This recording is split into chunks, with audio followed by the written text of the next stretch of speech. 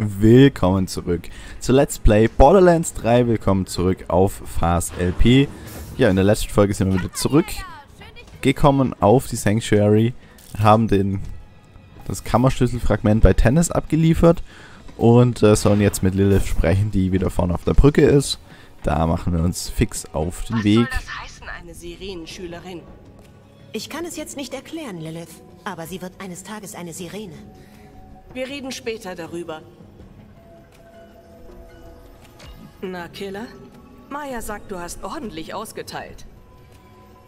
Hab ich? Oh, wie nett von ihr. Ich habe wirklich Herzblut reingesteckt. Das glaube ich. Ein Fragment hätten wir, fehlen noch zwei. Was soll das alles, Lilith? Wieso ist Marley One auf Athenas? Unser Schlüsselfragment ist seit Generationen geheim. Wie haben Sie davon erfahren? Ich bin nicht sicher, aber die Kalypsos scheinen mehr über die Kammern zu wissen als wir, sogar mehr als Tennis. Sie wussten von der Kammerkarte. Vielleicht haben sie Maliwan befohlen, Athenas zu überfallen. Sie sind angeblich hinter der sogenannten Großen Kammer her. Und die Kammer auf Promethea muss Teil ihres Plans sein. Wir müssen vor ihnen dort sein. Das werden wir, Firehawk. Ich weiß nicht, ob mich noch jemand so nennt. Lilith! Lange nicht gesehen. Wie geht's dir? Wow, schicker Schnäuzer. Danke. Ist ein Belagerungsschneuzer. Hör zu. Ich ziehe nur ungern Ein aber Katagawa hat einen auf einem Asteroiden stationierten Laser aufs Atlas-Hauptquartier gerichtet und droht mich zu zerstückeln, wenn ich nicht aufgebe. Ich äh, drehe nur durch. Oh, oh, oh, und Zero berichtet, dass der Laser von einem Kammerschlüsselfragment versorgt wird. Also, Mehr muss ich nicht wissen. Wir machen das. Das wollte ich hören. Gut so, Verbündete. Reese, Ende. Na, klasse. Geh runter und hilf Reese mit seinem Laserproblem, Kammerjäger. Hoffentlich weiß Reese, was er tut. Lilith meint, er gehört zu uns.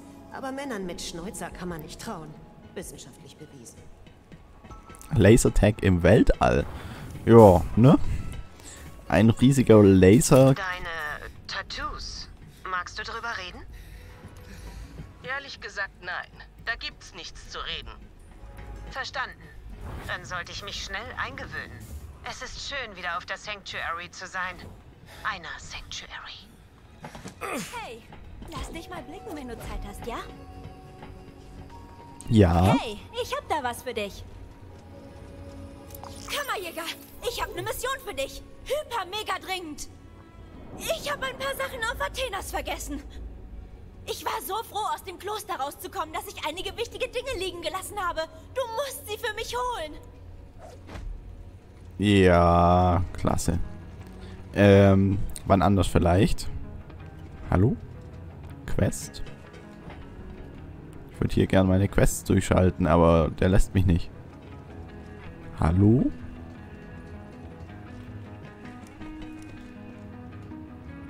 Ja, eigentlich will ich ja die andere Quest machen.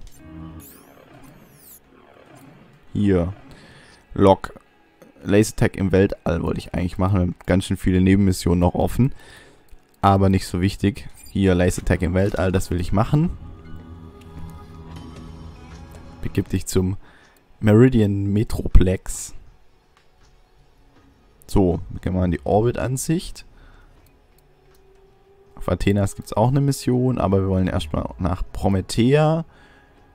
Zum meridianischen Stadtrand. Sehe ich das richtig? Und dann hier zur Landekapsel. Da wollen wir hin. Glaube ich. Hoffe ich. Sehen wir gleich, ob ich da richtig gelandet bin. Oder ob ich mich da vertan habe. Zurück nach Meridian. Begeben wir uns jetzt zum Meridian Metroplex. Das sieht gut aus. Da sind wir richtig gelandet.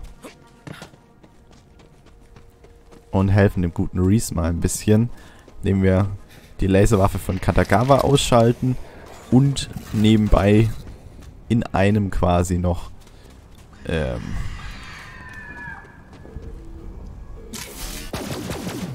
dann das Kammerschlüsselfragment mitnehmen.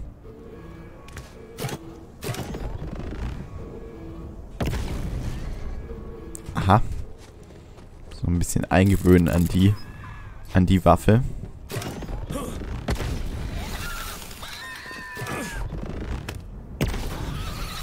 Ja.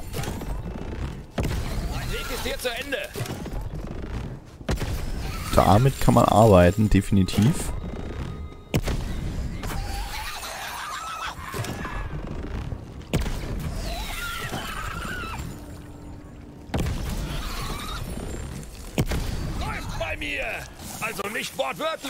Ja.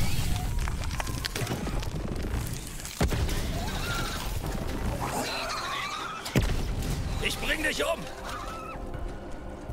Ja, das haben wir wohl. Haben wir wohl ein bisschen umgebracht, die Kollegen. Die Ratchlings und Ratches. So. Weiter geht's.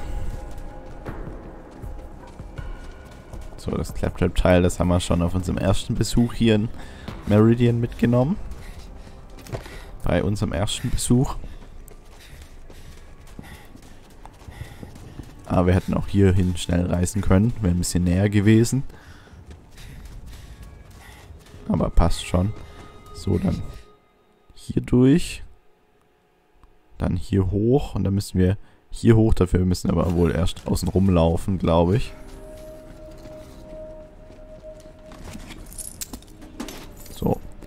Geld nehmen wir mit. Munition ist äh, voll. So wie es aussieht, kann ich mir hier mal kurz eine Karre rauslassen.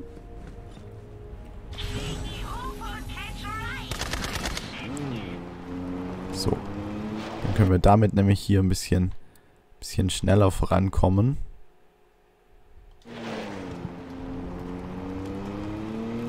Wie wenn ich das jetzt alles laufe.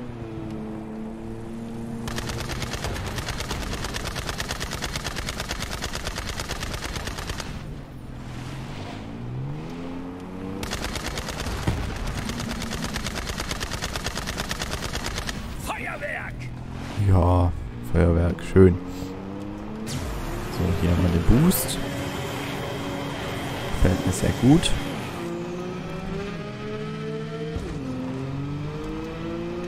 Ich lasse mich jetzt mal nicht von den Kollegen hier aufhalten. Muss nur gucken, ob ich richtig fahre. So, hier rechts ist noch irgendwas und da oben ist noch ein Ziel. Ähm, ja, keine Ahnung, ich guck mal hier rechts.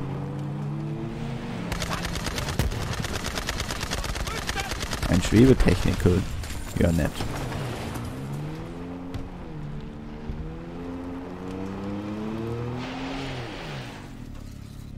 Meridian Metroplex. So, da müssen wir hin. Flups.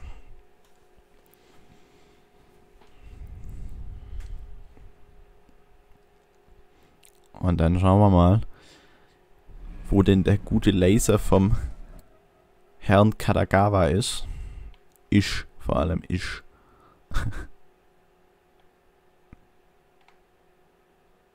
ähm, da drüben ist noch irgendwo ein Claptrap-Teil. Kammerzeit, Baby. Treff mich bei äh, Startrampe 7. Mali One hat den Laser abgeriegelt. Deine Landekapsel käme nie an den Sicherheitsvorkehrungen vorbei. Aber ich habe ein hochmodernes Atlas-Schiff mit Tarnvorrichtung. Der Plan lautet, zur Orbitalplattform hochzufliegen und den Laser zu zerstören, Ja, Katagawa erfährt, wer es war. Okay. Das ist das Ziel.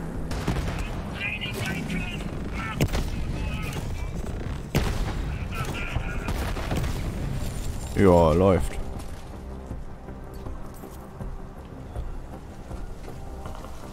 Ich kann quasi mit zwei Schüssen mit meiner Shotgun ein ganzes Auto von denen zerlegen. Not that bad. Suborbitaler Raumhafen.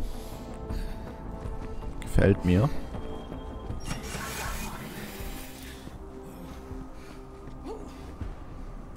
Bin ich hier richtig? Ich bin hier richtig. Hier kriegt man doch gleich Besuch. Ich sehe es doch schon wieder.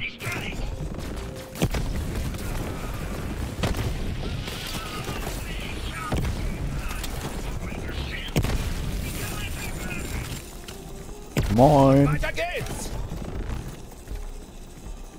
moin. Je, die Armen. Werden hier komplett zerlegt. Von meiner coolen neuen Waffe.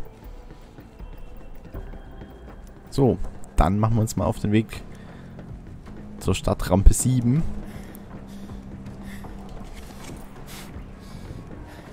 So, da ist ja schon der Reese. Da bist du ja. Mein Schiff ist da vorn. Hochmoderne Atlas-Tarnvorrichtung. Hier lang. Nein, nein, nein, nein, nein, nein, nein, nein, nein! Ja. Reese, belagert und beschneuzert. Das war's wohl mit deinem tollen Schiff. Hast du über die bedingungslose Übernahme nachgedacht? Oder brauchst du noch eine Ohrfeige von deinem alten Kumpel Laseroid, um deine Meinung zu überdenken? Hm. Einfach mit dem Vertrag vorbei, wenn du soweit bist. Ich freue mich darauf, Atlas in der Maliwan-Gruppe aufgehen zu sehen. Oh, du kannst auch Zero mitbringen. Ich wette, das interessiert ihn. Lieber sterbe ich, als Atlas diesem aufgeblasenen Sesselpupser zu überlassen. Neuer Plan. Neuer Plan. Wir stehlen ein Maliwan-Shuttle mitsamt der Sicherheitsprotokolle. Hier, nimm. Nimm das Viper-Laufwerk. Okay, das nehmen wir mit. Also, ähm, das Viper-Laufwerk ist Atlas moderne Form des Remote-Hackings. Damit stehlen wir einen Maliwan-Shuttle. Machst du mit? In Gedanken bin ich schon dabei. Und der Schneuzer, Junge, dazu gibt's sicher eine Geschichte. Konzentrier dich! Finde einfach einen Maliwan-Shuttle und stecke das Viper-Laufwerk ein. Ich mach den Rest. Belagert und beschneuzert. Ja, das ist definitiv lustig. Zeit, das Viper-Laufwerk auszuprobieren. Steck es in die Konsole. Gut, das machen wir. Okay. Sie müssen wo rein, wo Sie unerwünscht sind. Das Viper-Laufwerk von Atlas hilft. Hochmodern. Wir sind drin. Sehr schön. Reese ist der Beste. High five? Irgendwer? Okay, okay, schon gut. Hey, äh, meld dich, wenn du dort bist.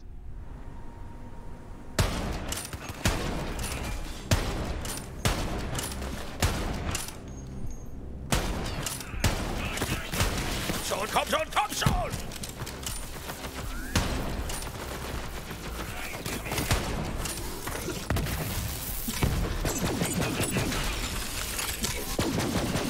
Darüber werden noch Lieder gesungen. Ah, Lieder. Ja, von mir aus. Gerne. Das hier ist auf jeden Fall schnell erledigt. Hier haben wir ein tolles Schiff. Das wir uns jetzt gleich mal schnappen. Begib dich nach Skywell 27. Und los geht's. Ab nach Skywell 27.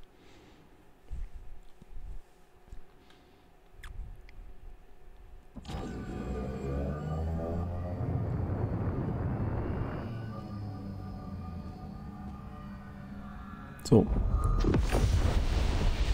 Da ist der fette Laser. Bin da, Mann! Schöne Aussicht! Hat das tatsächlich funktioniert? Ich meine, natürlich hat es funktioniert. Keine Killersphären in Sicht. Killersphären, ja? Nicht wichtig. Nach Zeros Informationen treibt dein Kammerschlüsselfragment den Laser an. Wir müssen nur den Kontrollraum finden. Geh zum Haupttor. Keine Killersphären. Ja, noch nicht. Die kommen sicher gleich, so wie ich das Spiel kenne. Und dann hat er nicht das Problem, sondern wir haben dann das Problem mit Killersphären. Ich sehe es kommen.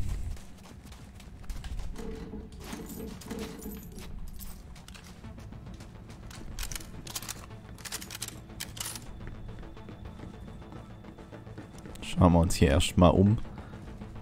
Relativ trist und karg die Landschaft hier.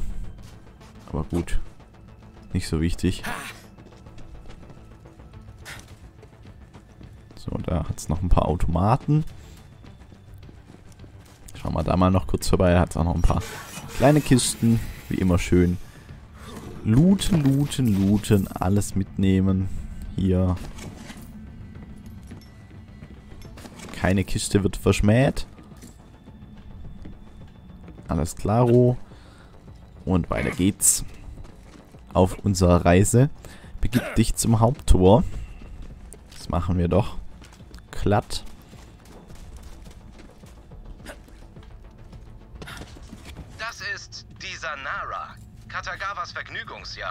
Ah ja, Man sagt, dass er seine Geschwister bei einer Party darauf umgebracht hat.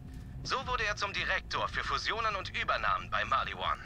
Oh, übrigens, Sympathisch. vorsichtig. Man muss sich erst an die geringe Schwerkraft gewöhnen. deswegen können wir so hoch springen. Ja, auch gut. So, dann geht's, glaube ich, da drüben weiter. Ja, wir können sehr, sehr, sehr weit springen. Finde ich jetzt nicht so negativ. Sorgt eher dafür, dass wir hier schön alle Bereiche erreichen können.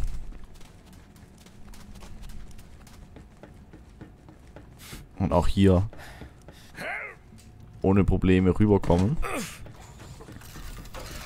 So. Kollegen, wie geht's euch so? Wir reden ein bisschen.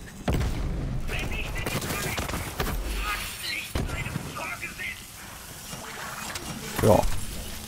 Das waren die Kollegen. Da kommen wir nicht durch. Da hat es auch wieder so ein Typhon-Lock. Mal den finden, wo der ist, dann nehmen wir den natürlich mit. Und hier geht's weiter. Malivon Module. Bereich entdeckt. Hier oben drauf ist der irgendwo der, der Typhon Lock. Aber da komme ich gerade nicht hin. Und da komme ich auch nicht rüber. Gut, dann gehen wir erstmal hier runter. Und gucken uns hier um. Da kriegt man wahrscheinlich gleich Ärger, wenn die bemerken, dass wir hier sind. Finden die sicherlich nicht so gut. So. Sind schon mal einer weniger.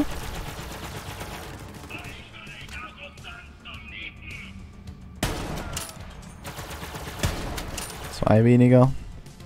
Ah, da kommt immer frischer Nachschub. Schön.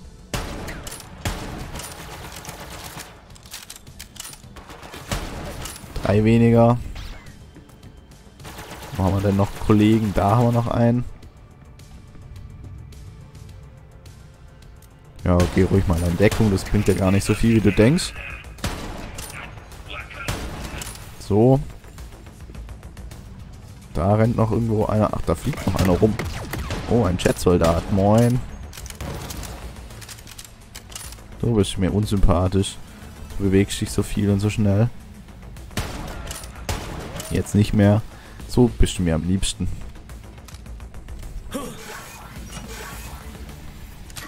Das alles hier? Wäre ein bisschen dürftig, oder? So. Ja, so eine Malivorn Modulbasis hier und dann sind da vier, fünf Hansele, die hier rumlaufen. Ja, gut. Ich meine, über zu wenig Widerstand will ich mich ja auf keinen Fall beschweren. Wer bin ich, dass ich sowas tue?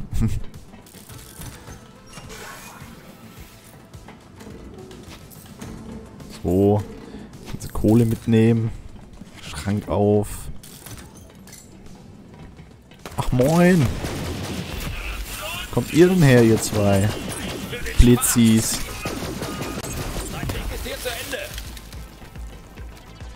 Ja, gut, ne? So. Gucken wir uns hier drin noch um. Vielleicht führt der Weg zu dem Typhon-Lock nach oben. Dann können wir uns den noch anhören. So.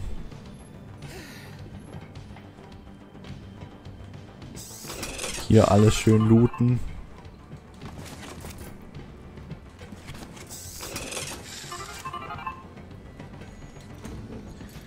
Dass hier auch immer so viele Kisten hat. Ich meine, ist ja toll, aber dauert dann halt eine Weile hier die Looterei.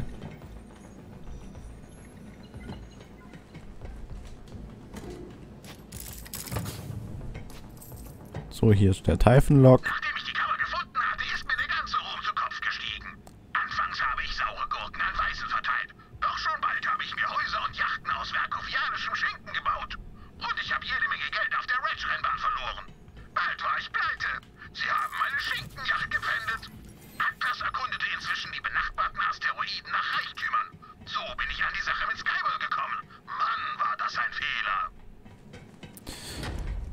Ja, der ist ein bisschen durchgeknallt, habe ich so das Gefühl.